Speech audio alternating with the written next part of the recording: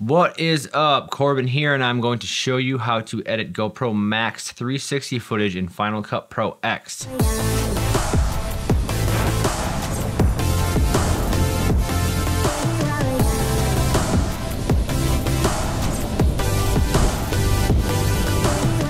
Three sixty. When it comes to editing 360 max footage, it takes a lot more work, it takes a lot more playing around with and getting used to. But I think it's worth it because once you reframe the footage that you get from the GoPro Max, the shots turn out pretty sick. So let's cut the bull and let's jump right into it. All right, so the first thing that you want to do before you do anything is you want to make sure that you have the GoPro Player desktop application downloaded. The GoPro Max will give you a raw .360 file that you have to convert in GoPro Player to a usable format so you can edit. Once you have the GoPro Player downloaded, you can click on whatever clip you want to convert. I got a little clip here of when I mounted a GoPro Max on an RC Mario Kart. So all you really have to do here is export it. So it's just in a different file format. You can actually edit and reframe the clip in GoPro Player, but for the sake of this video, we are going to just convert this. So once you have your clip loaded up, you can trim it however you want by clicking the scissors. I'm gonna cut here, trim it there, and then we'll just trim here. Uh, like right there. There we go. And then you hit the check mark and then you hit export trim and then go to advanced options. I usually export out of GoPro Player to ProRes 422 or ProRes HQ. Most of the time you can just use ProRes 422. ProRes HQ is kind of overkill. I would recommend clicking mount optimization because that will adjust the stitch line in your footage. Say you're using a GoPro Max on a pole, it'll actually help you mask out the pole that you're holding so it just looks like you're getting the invisible selfie stick shot while using a GoPro Max. But I always click mount optimization and all of these. So here's what you would do. Then you hit next and then you name it and save it. We're just gonna name this one Mario Kart.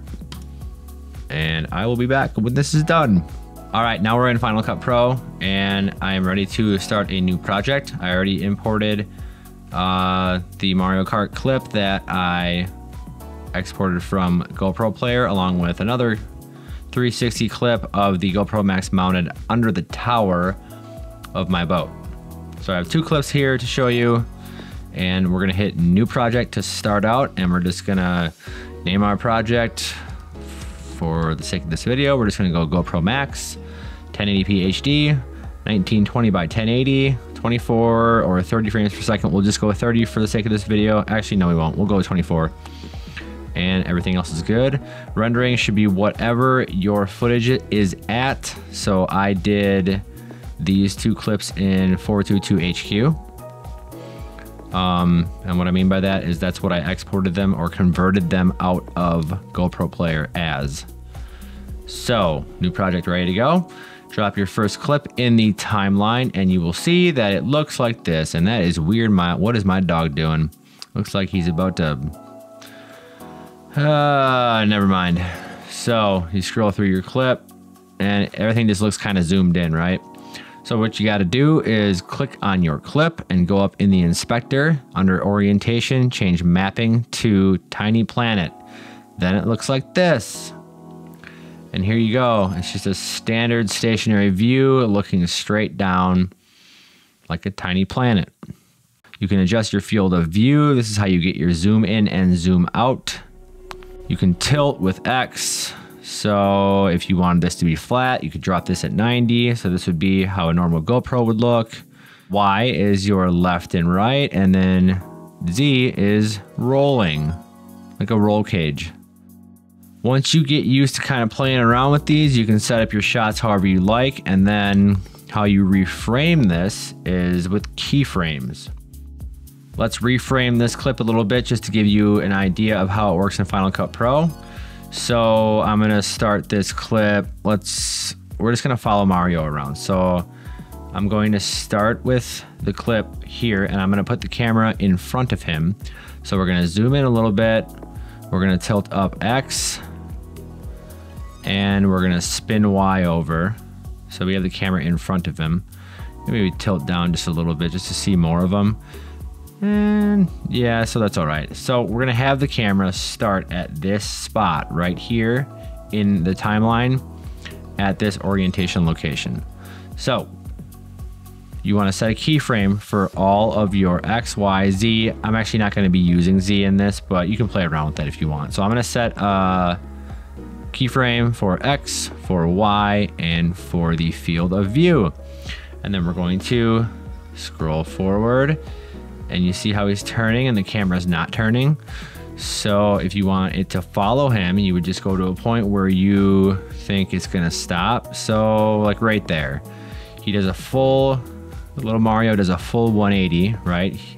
He makes a turn and I want the camera to follow him. So at this point is where the RC car is done turning. So we are going to set the Y back at him like this. And then you know, you can tilt up a little bit and then maybe zoom out. And then from keyframe to keyframe, it looks like this. It'll follow him. You see what I'm saying? So that's how you would reframe that shot, just like that. Now I'll drop in my other clip, the boat clip, and just show you that real quick. So this is the same thing. You drop it in, you go over to the orientation, you put it in Tiny Planet, and it's under my tower, so it looks pretty funky. But this was just to get a shot straight down so we can straighten her out a little bit. And um, get everything kind of lined up how you want it. Eh, maybe zoom back just a little bit. All right, and then we can go to the very beginning and we can set keyframes and move forward a little bit to say maybe here and just kind of mess around with this like that. And we can look down at what I'm doing. Right there, that's me in the back. Let me zoom in just a bit. And then, and then right about here, we can add, you know, the same keyframes that are here. So it holds. And then once we start turning,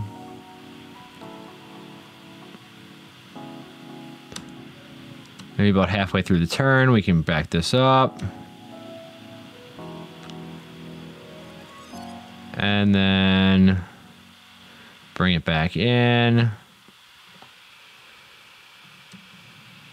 And maybe add a keyframe in the middle of this one and then locked in with this last keyframe, maybe just turn it so we're in line with it.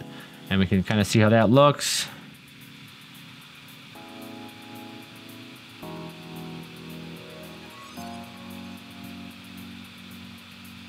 And it's not too bad. It's not too shabby. When the footage is slowed down like this, or you just have a longer clip where your keyframes are spaced out further, um, the movement won't be as jerky. So there is actually a way around the jerky camera movement from keyframe to keyframe. Um, if you want to go this route, uh, it's kind of a pain, but it is doable. I've done it a couple times in my videos. So say you want the camera to already be moving from keyframe to keyframe, you know, as your clip starts, instead of like your clip not moving and then going into a camera move. Say you want your video to clip to start here, right?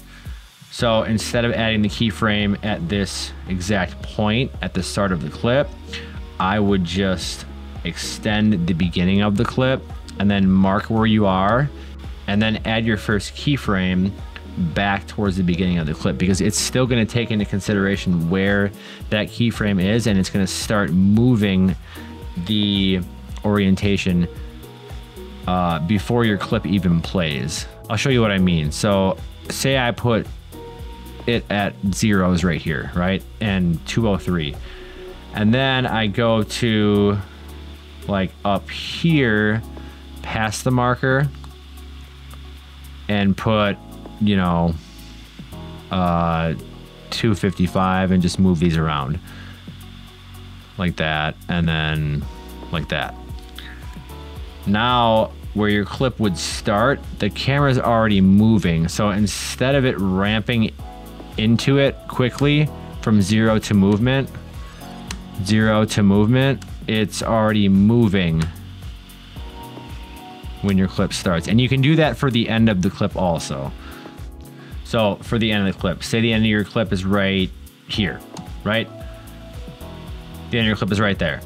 So you would extend the clip if you have that room and then you would mark it and then you would go over here and add an ending keyframe, maybe exaggerate it a little bit further than you actually want it because you kind of want to hit where you uh, want it to be in the video. So instead of slowing down and just stopping as shown here, um, because you put your keyframes past your end point or your end clip point, so your clip will end there, and your keyframes are past that over here, now it'll just be a continuous thing like that. And then it'll just roll into whatever clip you have next. So I know that may have been confusing. This is just a way around um, having continuous movement in your 360 clips while keyframing.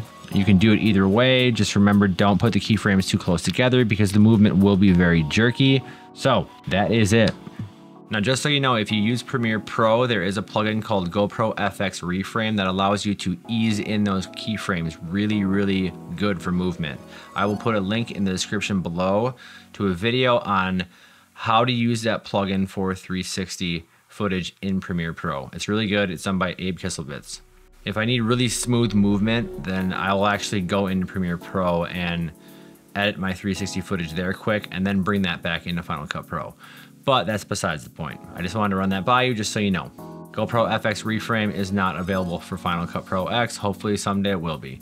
So for now, if you're just using Final Cut Pro, this is how we have to do it.